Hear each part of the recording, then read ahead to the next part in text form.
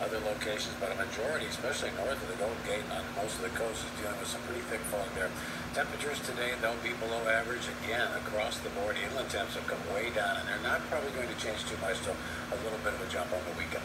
All right, let's head over to Sal now and see if there's something new going on at 8:29. Uh, anything new or something old you want to get rehash again? More of the same, uh, Steve. We do have slowing.